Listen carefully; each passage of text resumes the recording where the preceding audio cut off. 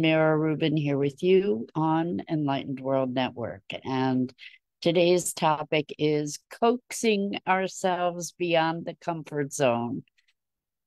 We chase transformation and change, and yet we don't want to rock the boat or feel uncomfortable. And one doesn't happen without the other because we're moving into the unknown. We're moving out of the familiar into an arena that we have yet to discover. So, of course, there's some discomfort associated with that. So, we're going to talk about how to coax ourselves into and beyond, uh, uh, beyond our comfort zone into the arena of the unknown. But before we get started, let's take a minute or two to get present.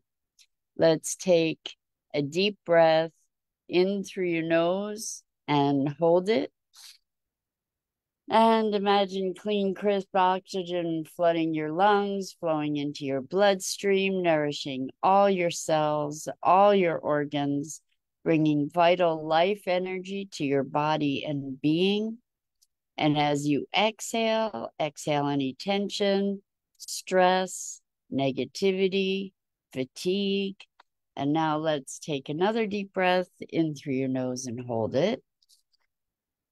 This time, imagine brilliant, bright light lighting you up from the inside out, illuminating, electrifying, and energizing all your cells, your molecules, your electrons, creating a brilliant beam of light and energy from your heart out into the world. And as you exhale, exhale any remaining tension, stress, negativity, fatigue.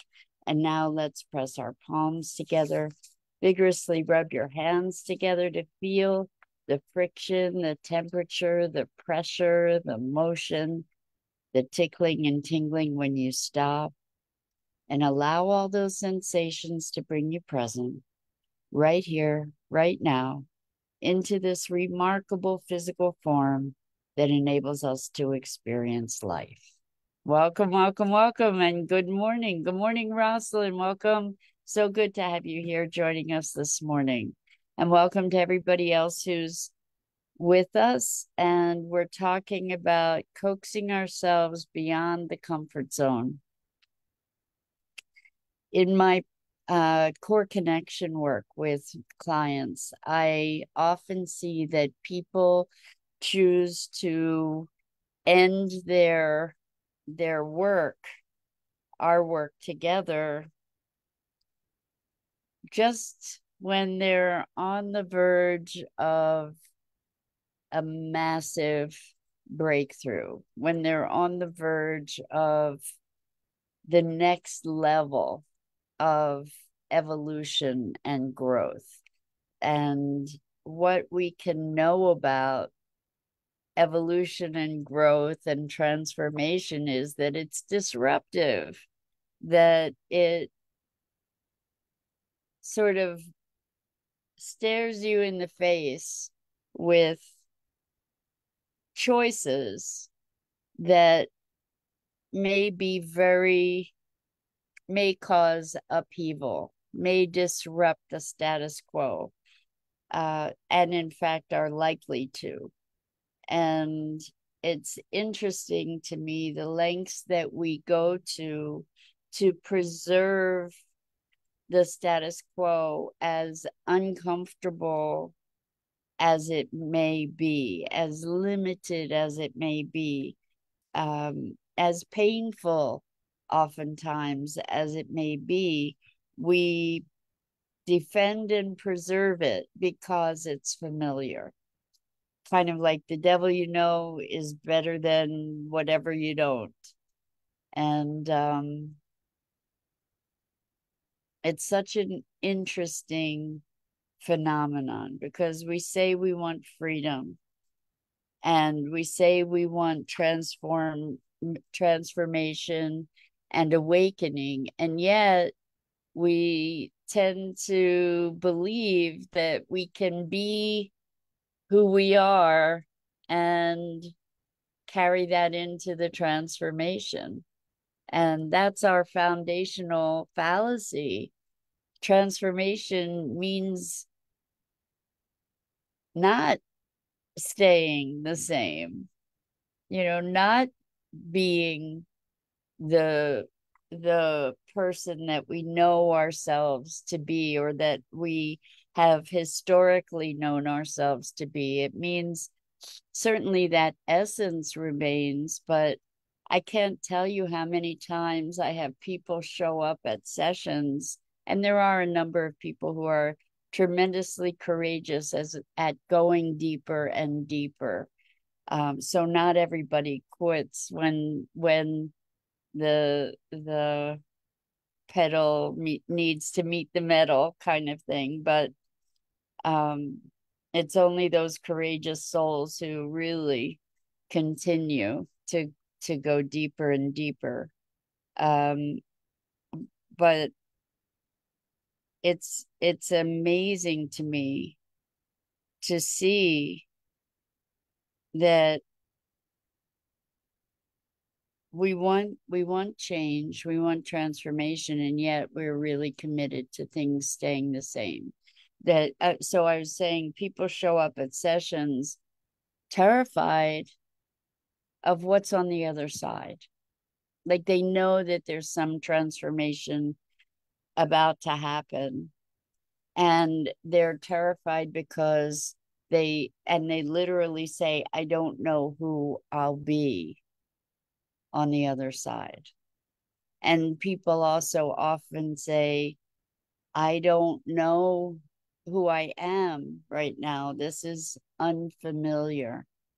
So we get to as we make these transformations, we get to rediscover ourselves, to reinvent ourselves, to reawaken or awaken anew into a new life, a new sense of self, a new presence, a new perception.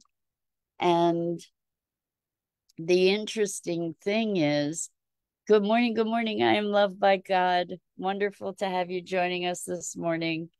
Um, I did get your message and I will be in touch with you.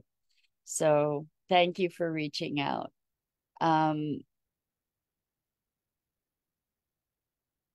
I have to regain my train of thought here. Uh, ah, so people arrive at a session uh, being terrified about who they're going to be on the other side.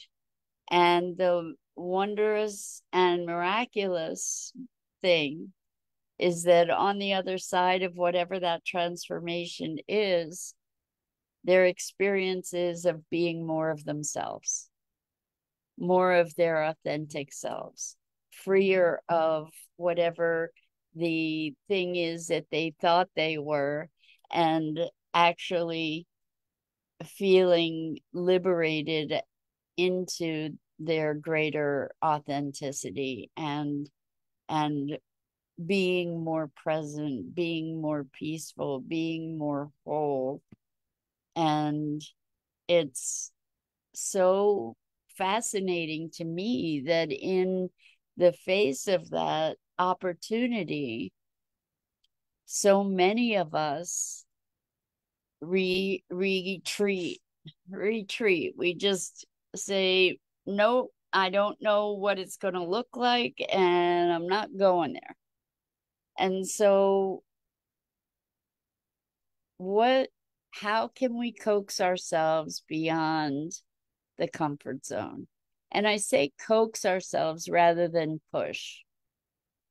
And i think that that's a really important distinction because we're taught in our culture push, push, push, drive, drive, drive, more, more, more, rather than creating an invitation to ourselves, rather than gentling ourselves, coaxing ourselves, inviting ourselves, um, enticing ourselves, rather than pressuring or forcing or or the domination and control kind of um, dynamic, right? And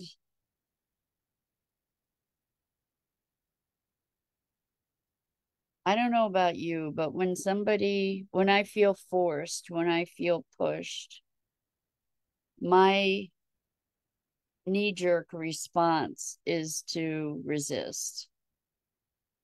To resist and rebel. It's like, don't push me. You know, that's the knee jerk is pushback.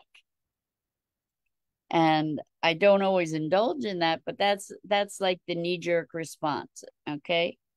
Cuz what I what I prefer to do is to recognize that and then come to a place of choice to decide, to actually choose am I going to align with this? Is it not aligned with me? Um but anyway, we we bully ourselves because we are taught to bully you know and we bully ourselves into doing things oftentimes by speaking harshly to ourselves rather than gently rather than compassionately rather than again providing an invitation. So as we face this edge of our comfort zone,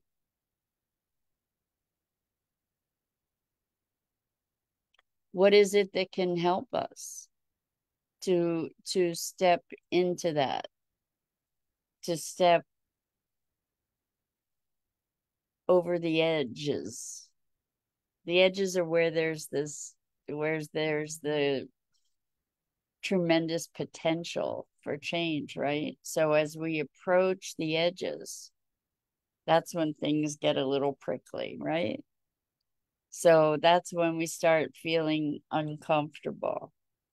But we can step into those edges and and feel into those edges and breathe into those edges.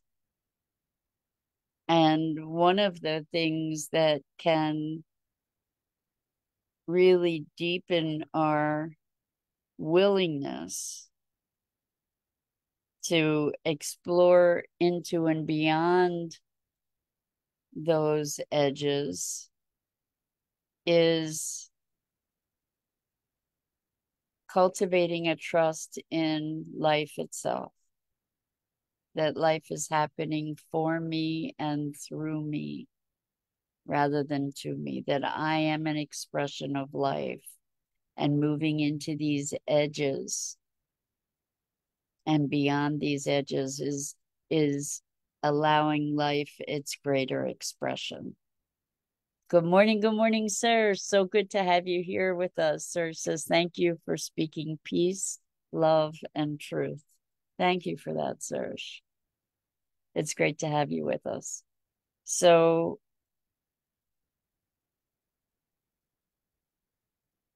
exploring these edges, I think if we can create a deeper sense of safety, which is maybe kind of paradoxical because at the edges, you know in in the uncertainty of the unknown that's where we start feeling unsafe because we're moving into something unfamiliar right? But if we can cultivate this greater context of trust and ultimate safety like really that there that life is unfolding in its perfection even if we don't comprehend that if even if we don't necessarily understand that but we can cultivate that bigger sense of safety to allow ourselves the courage to step into the unknown to step into the the discomfort and the unknown rather than being fear inducing can be excitement inducing like it's an adventure like we can because anxiety and excitement are pretty closely bound pretty closely related, right? And so that that heart racing kind of energy can be anxiety or it can be excitement, you know, that there's there's an adventure the we can be joyfully embracing the unknown so rosalind says the tendency is to change to be something else.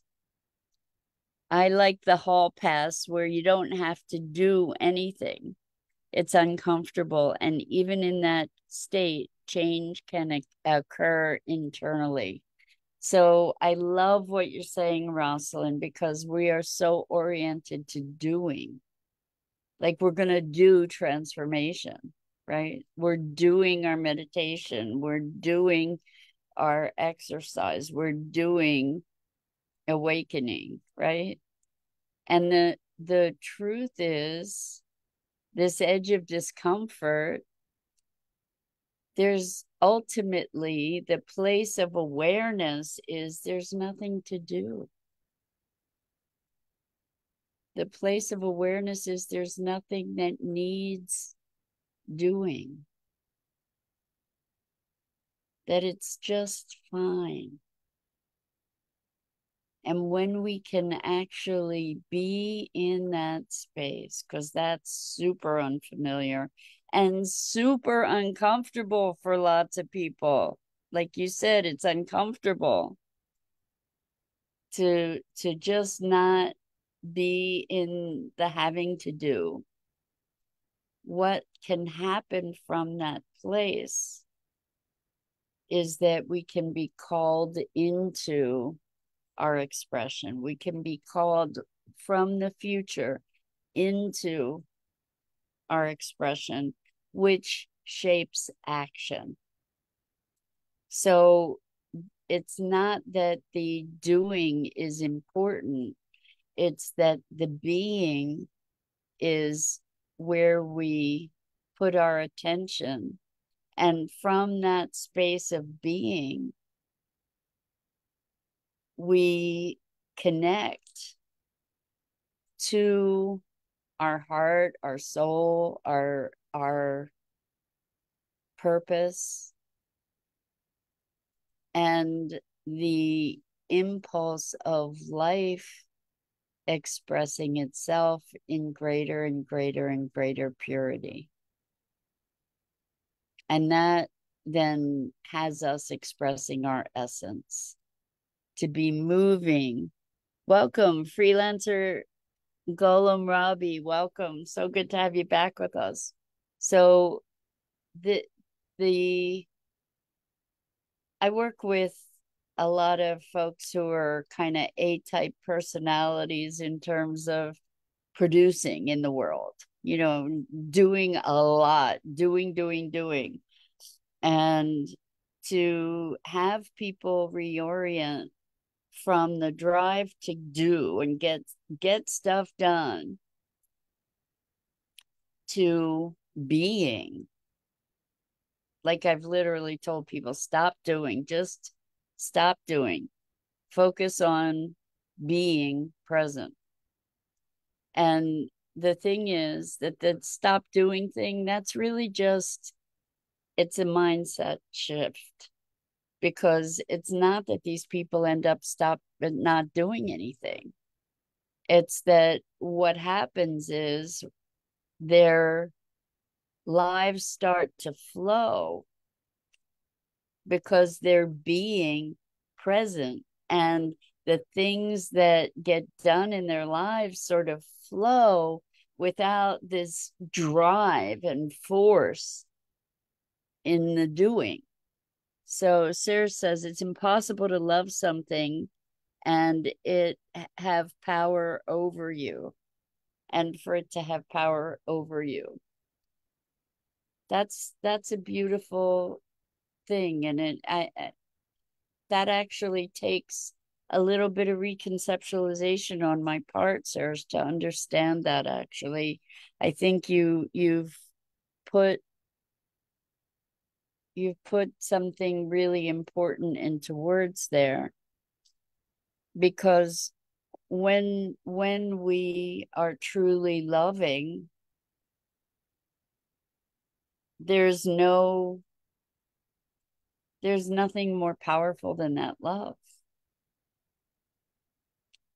So like I, I think that our concept of love oftentimes is very um codependent you know that was very um misdirected.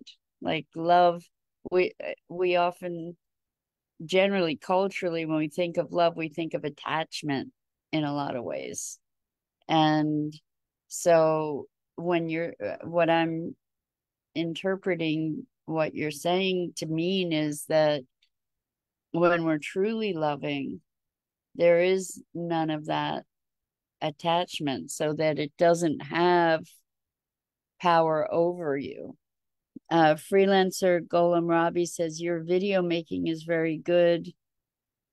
Um,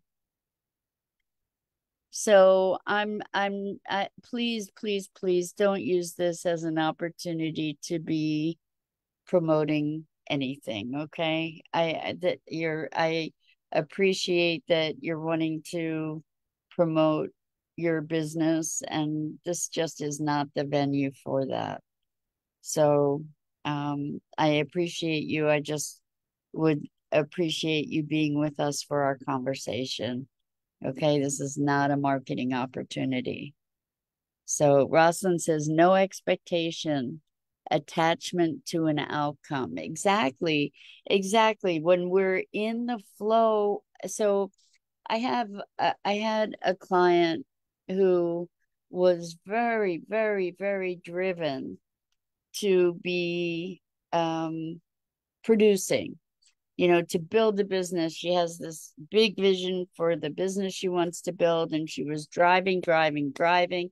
She was being mentored by people who were teaching her how to do sales and how to close and um, you know you have to make this many calls and it's going to be this many uh, results based on how many calls it and she was doing doing doing doing doing and nothing was happening other than she was getting deeply deeply deeply frustrated. And um, then she started doing work with something that she just adored. And she was in the experience of it. She was in the flow of it and all these magical kinds of things were happening that she couldn't have orchestrated no matter how hard she tried and that's the distinction between this this doing and being and when we allow ourselves to be we can be in the flow of life. And the doing is a result of that, not the other way around. You know, the doing gets done in flow as a result of our beingness. And so let's get back for a few minutes to the original idea of what we were talking about today which is coaxing ourselves beyond our comfort zone into the edges, into the place where change and transformation actually occurs.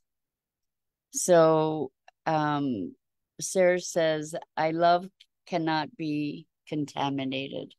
So, in the purity of love, I, I think you're a hundred percent right. Is that in the purity of love, it is it is its own deep, profound energy and a very, very high frequency of being to be able to access that that love. And with that, for me, this is an exercise. This is something that I'm practicing, that I'm deepening in in my experience is that there's a sense of safety and trust that helps me to open my heart as I become more and more deeply aligned with with the notion of being an expression of life, that life is flowing through me and I am a unique expression of life itself. That that starts to cultivate a trust, which cultivates a safety, which allows me a feeling of greater freedom to open my heart more and more fully. And so the coaxing ourselves into the edges and beyond our comfort zone, I I think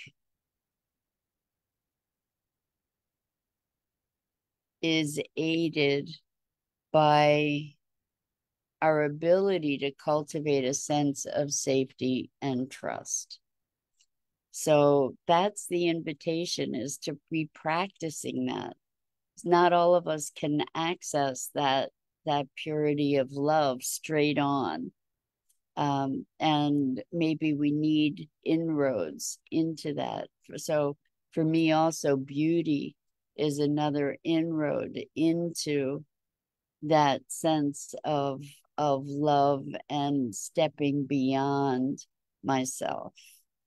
So I invite you to play with that. And hi, Sue. So wonderful to have you with us this morning. Good morning.